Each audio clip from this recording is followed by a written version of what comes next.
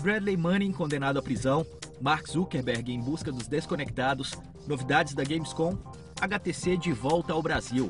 Estes são os destaques do canal Tech News que começa agora.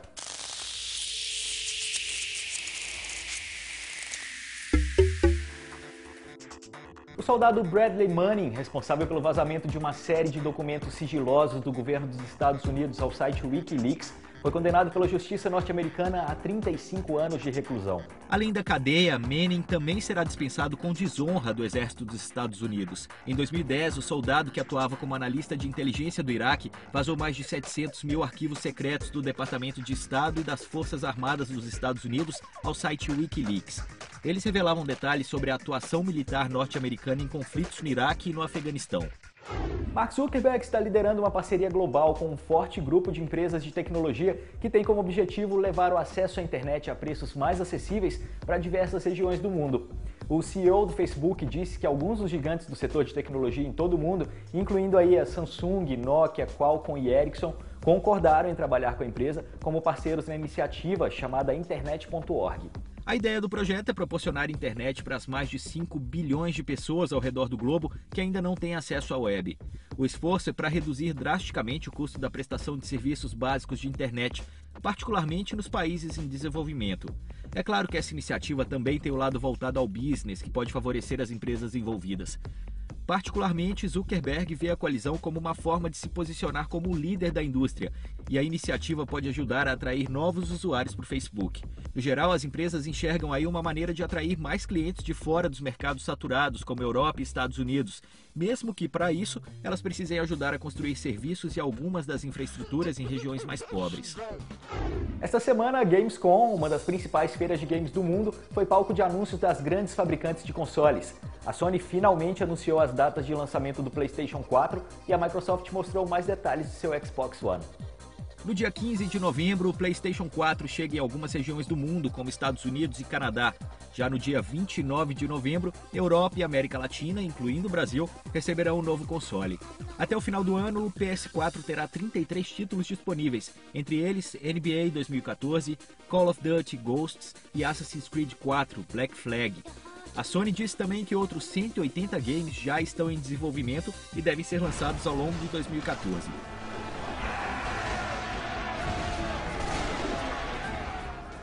Já no mundo Xbox, a novidade foi a exibição da interface de usuário do novo console e também a lista de jogos que estarão disponíveis já no dia de lançamento.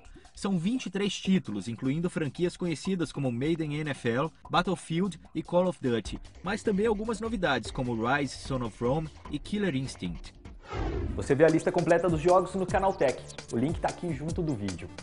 O Google começou a finalmente tirar proveito do Waze, aplicativo social de trânsito que comprou por mais de um bilhão de dólares há alguns meses. Agora, usuários do Google Maps para iOS e Android podem ver alertas que incluem acidentes, obras, trânsito e vários outros incidentes relatados por quem usa o app. A integração já está disponível no Brasil, basta atualizar o seu aplicativo do Maps. O Waze também ganhou com essa junção. Agora é possível fazer pesquisas no Google através do aplicativo e os editores de mapas também terão acesso ao Google Street View e imagens de satélite. Apesar da sobreposição dos serviços, o Google tem tomado cuidado para mantê-los diferentes. O Waze continuará a ser focado na comunidade e em ajudar as pessoas a se deslocarem sem maiores transtornos pelo caminho. Já o Maps tem como objetivo principal a identificação do local e a sugestão de estabelecimentos próximos. Agora uma notícia exclusiva que você só vê aqui no Canal Tech. A HTC planeja voltar ao Brasil. Foi o que nos disse uma representante da marca durante um evento da Câmara de Comércio de Taiwan que aconteceu essa semana em São Paulo. A marca taiwanesa HTC, que parou de vender seus produtos no Brasil em 2012 por causa da baixa procura, já estaria até selecionando pessoas para representá-la por aqui. A empresa busca uma recolocação no mercado brasileiro, o que seria uma ótima notícia para nós. É que os produtos da empresa são ótimos e está aí o HTC One que não nos deixa mentir. Outro bom produto que chegará ao mercado brasileiro é o Moto X, primeiro aparelho desenvolvido pela Motorola após a compra da empresa pelo Google. Ele será mostrado por aqui em um evento no dia 3 de setembro. O Moto X tem uma combinação robusta, processador Snapdragon Dual Core de 1,7 GHz, 2 GB de memória RAM e GPU quad-core, mas isso não é o que mais chama atenção no aparelho. O legal aqui são os seus extras, como o Always On do Google Now, a customização do visual, a câmera avançada e muitos outros recursos que você pode conferir no artigo que fizemos sobre ele. O link está aqui junto ao vídeo. Isso, aliado ao preço, fazem dele um aparelho bastante competitivo no mercado. Nos Estados Unidos, ele está sendo vendido a 299 dólares sem amarras com operadoras. Por aqui só saberemos o valor no dia 3 mesmo. A Comscore, uma das principais empresas de análise de audiência, divulgou uma informação no mínimo curiosa.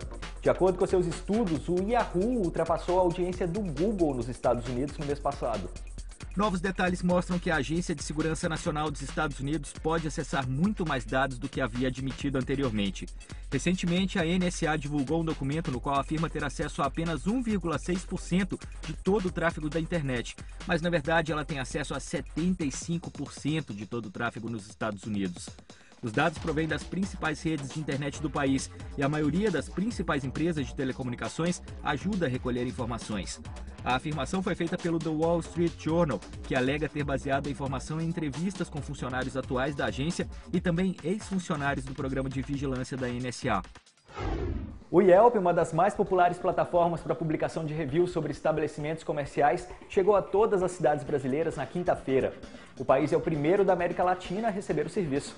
Criado em 2004 em São Francisco, o Yelp já está em 22 países diferentes. Atualmente, o site conta com 42 milhões de reviews espalhados pelas cidades em que atua. Compras e restaurantes são as duas principais categorias de reviews, mas também é possível saber mais a respeito de lojas, parques e até consultórios médicos. Em português, o serviço deve trazer uma série de novas categorias exclusivas que devem trazer resultados mais relevantes para nós, como temaqueria e comida mineira, por exemplo. Como forma de estimular o uso do aplicativo entre brasileiros, a empresa também deve trazer as Yelp Parties para cá. As festas são eventos patrocinados pelo Yelp para integrar na vida real os usuários elite do serviço, ou seja, aqueles mais ativos na comunidade e que escrevem mais reviews no site.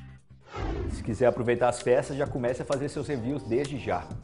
E essa edição do Canal Tech News fica por aqui. Aproveite agora para dar uma passada em nosso site e conferir o conteúdo exclusivo que nossa equipe preparou para você esta semana. Em uma viagem a São Francisco, conversei com Matt Van Horn, VP de novos negócios da Path, a rede social que só permite o cadastro de 150 amigos. Entenda a lógica por trás desse negócio. Quais são as vantagens de se hospedar um site em data centers brasileiros? Pedro Cipolli, editor de hardware, comenta o assunto. Comparamos os seis top smartphones do momento para saber quem é o melhor entre os melhores. Na bancada, Samsung Galaxy S4, iPhone 5, Xperia ZQ, Nokia Lumia 920, BlackBerry Z10 e HTC One. Confira quem sai na frente. O repórter Rafael Homer assistiu ao filme Jobs, estrelado por Ashton Kutcher, e nos conta o que achou do longa. Já sabe, se gostou do vídeo, dê um like aqui embaixo e assine o nosso canal do YouTube. Assim você será avisado sempre que tiver novidades por aqui. Também não deixe de conferir nosso podcast com o um resumo de notícias de tecnologia todos os dias para você. Ele está em canaltech.com.br barra podcast. Semana que vem eu volto com mais um Canaltech News. Até lá!